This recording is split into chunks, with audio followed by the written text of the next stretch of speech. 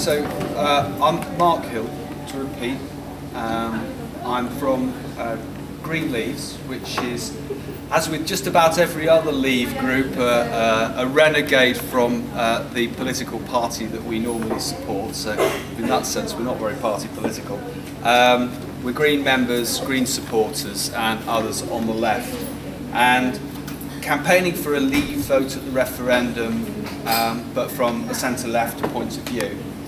And we're particularly here to show that really anybody can subscribe to the idea of leaving the European Union and indeed will be doing so.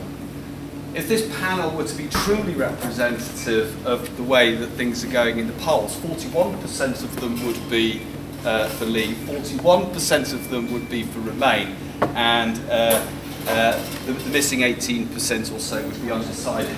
Um, it's actually uh, very finely poised. And if you do the maths, you can see for yourself that um, there is simply no way that all of that vote that is for leave is right of centre. It simply can't be mathematically. There have got to be a large number of people who are voting against the recommendations of their political party, Labour, Scottish National Party, your party, my friend, the Liberal Democrats, and uh, obviously my own, Greens. Um, most of the political parties, in fact virtually all political parties, are telling us that we should be in the European Union. But nevertheless, people are voting essentially against their political parties, with the exception of the Democratic Unionist Party in Northern Ireland and, uh, of course, UKIP here, which is actually still a relatively minor party in UK terms, despite the attention that it gets. So our intention, if nothing else, is to remind you all that you are taking this decision collectively as citizens. This is not an election. You are not voting as people of your political party. The party you normally support is irrelevant on this occasion.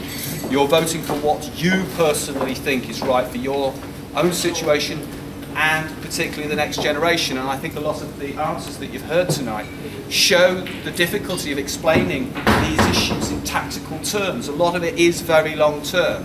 Whether you think you value the European Union or not, I'm sure all of us would agree, thinking about it, the effects are likely to be for the long term, particularly as we don't get a vote of this magnitude very often, 41 years since the last one. Now, our key argument as a group is that those that want us to stay in largely want us to do so from an argument claiming that reform is possible. And our view is simply that it isn't. We have been in this body for so long now, we understand its mechanisms, we understand its sense of direction, its own sense of purpose of itself. It is a centralising, it is an elitist, I'm afraid, my friend, it is an undemocratic body, certainly in the sense that we Brits mean it, because it doesn't allow accountability, direct accountability of the key office holders. Um, if nothing else, ladies and gentlemen, think about the consequences for um, those seeking to uh, migrate here. Think about the consequences for those in the developing world that face the protectionism that lies at the core of this body. Think about the unemployment, the mass unemployment amongst youth that this body has created, particularly in the Mediterranean countries.